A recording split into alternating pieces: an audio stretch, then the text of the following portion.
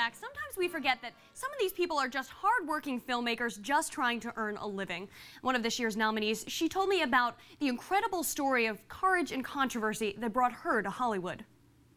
When I heard that I got nominated, it was 6:30 in the morning. I got a call on my cell and somebody called me and said, "Your day is going to be so much better. You just got nominated for an Oscar." And I This Sunday, Cynthia Wade's life could be changed dramatically. Her short documentary film, Freeheld, is up for an Academy Award.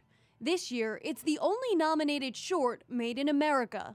And to many, Freeheld is much more than a movie. Freeheld follows the last 10 weeks of Lieutenant Laurel Hester's life. She was a police officer in New Jersey and she was racing against the clock to leave her pension to her female life partner. She was told no because they weren't husband and wife and it turned into a huge fight in New Jersey whether or not she could leave her pension to her same-sex partner. I'm at a point in my life where the only thing that matters is obtaining justice. Laurel and Stacy quickly became pioneers in the fight for gay marriage. Their personal struggle in New Jersey, making headlines around the world. Cynthia left her daughters, a newborn and a five year old, with her husband, and she moved into the couple's home to film their story. She witnessed an entire community coming together, both gay and straight, rallying around an issue some never thought they'd support. Amazes me the most is as ill as she is, she's still doing the right thing.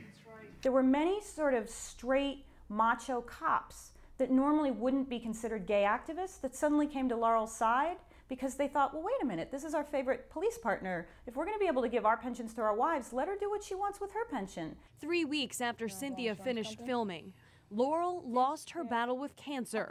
Then, nine months after she died, her partner of more than six years won the right to Officer Laurel Hester's pension. As an auto mechanic, Stacy didn't make much, but now she's no longer in danger of losing the home they built together. Think about where we were a little over two years ago, and Stacy was struggling at the auto shop, worrying that, really worrying that she was going to have to give up her house. And now to think two years later that Stacy will be walking down that red carpet with me, going to the Academy Awards. She's picked out her outfit. I have my dress. My husband's going. It's it's it's a thrill. It's amazing. And Cynthia is doing everything she can to savor this experience whether it's the parties, lunches, or Oscar night itself.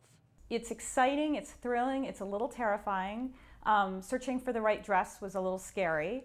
Um, but I think we're ready to so, go. Um, I think the hair guy is coming at 10 or 10.30 in the morning. So we'll have breakfast because it's probably the last thing we'll eat that day. I mean, it's kind of like a wedding day in a way.